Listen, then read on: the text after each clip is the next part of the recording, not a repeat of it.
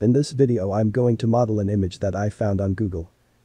If you want to download the image, link is in the description. All the plugins that I use are in the description. Let's start.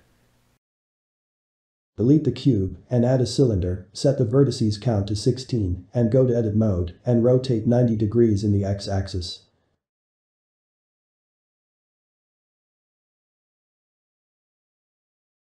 Select the center faces and inset it, then do bridge edge loops command. Go to wireframe mode and delete the lower half and the left side of the cylinder. Select the bottom edge loops and press F to create face. Select the lower face of the cylinder and extrude it on the x-axis, and flatten the face by using MACHIN3tools or scale it on the x-axis. Select the outer edges and bevel it. Use the scroll wheel to increase the number of loop cuts. Now let us clean up the topology. Select the two opposing vertices and press 2 if you are using MACHIN3tools or just press J key to connect the vertices.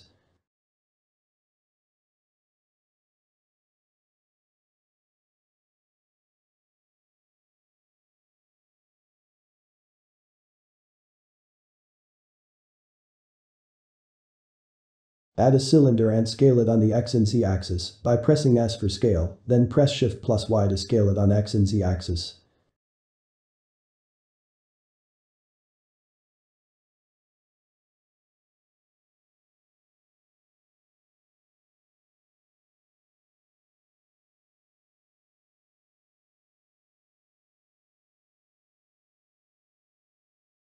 Select these faces and inset it and press B for boundary.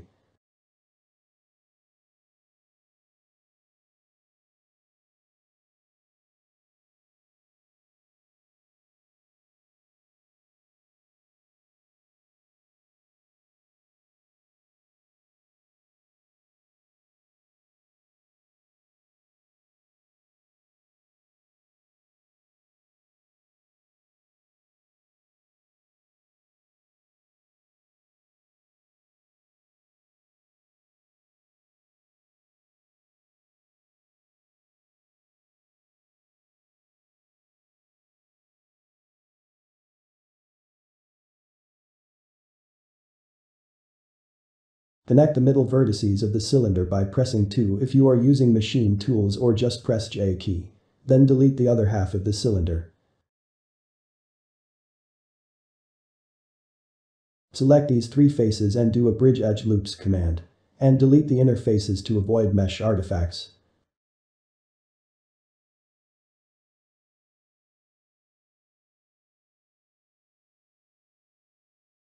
Add a loop and do a bridge edge loops command. And again delete the inner faces to avoid mesh artifacts.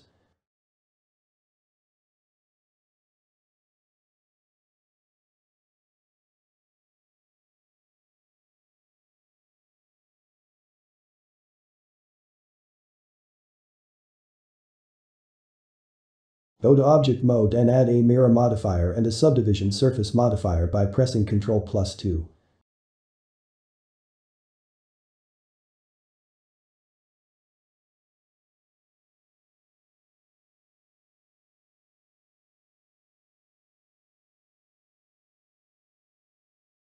Select these faces and inset it. Make it circular by using loop tools. You should enable Loop Tools add-on to use this feature. Go to Edit and Preferences and select Add-ons and search for Loop Tools. Scale the circular eyes faces in X and Y axis by pressing S for scale followed by Shift plus Z. Then set the faces to add support loops and scale it on the z-axis to add some flavor to the circle, and do a bridge edge loops command.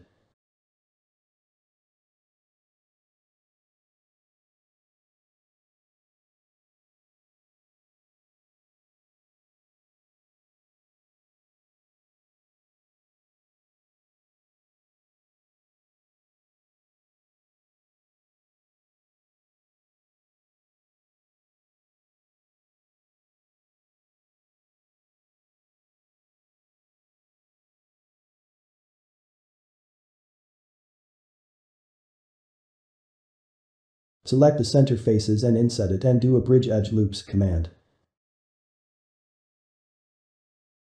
As you can see we didn't delete the inner faces and it caused some mesh artifacts. So go and delete the inner faces.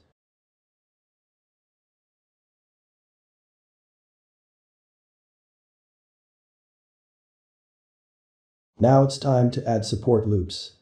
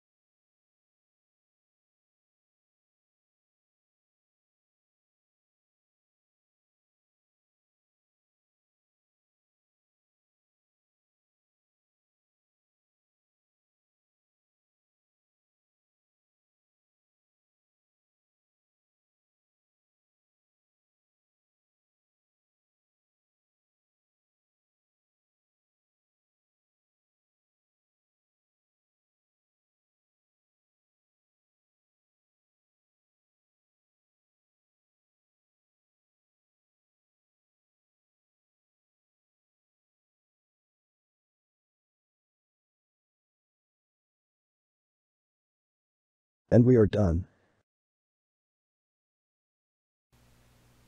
Thank you for watching.